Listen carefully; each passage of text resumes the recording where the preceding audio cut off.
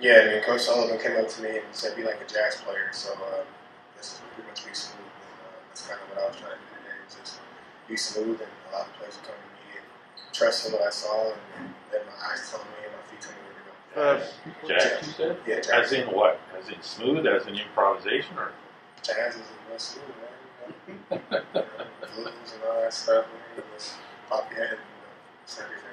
was the Johnson play? Was that a, a first read or a second read? And just kind of walk us through. It looked like that you had a free play there. Yeah, so they jumped off stars, went on a double cadence, and um, you know they ran a lot of cover two, so we're trying to get Pat down the middle. But um, you know, Pat was uh, had someone you know, next to him, and then you know AJ found a great spot back in the end zone, so I just want to give him a chance. He had a good ball, so uh, you know it was a great free play. And uh, Coach Tomlin talks a lot about honey, big When- plays. Coach Tomlin talks about honey, big plays, um, maybe a free free plays. So uh, just apply uh, drill to the, to